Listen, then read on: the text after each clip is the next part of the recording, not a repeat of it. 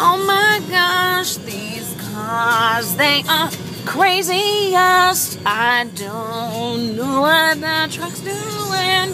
Oh gosh, I don't want to go to Colorado Springs. Where are we going? Hey, leave me alone, Parker. I'm singing. Got Botox yesterday. Botox yesterday. Woo! Go! Breckenridge! Here we come! Yeah! Woo! Uh oh. I think it's snowing up there today. Finally, there's no snow in this world. so I got Botox yesterday, and I did a video showing my wrinkly, crinkly forehead, which was very deep.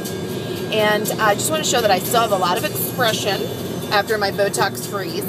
Um, got injections here, just a couple. Dr. Wang at the, uh, don't remember name of the place.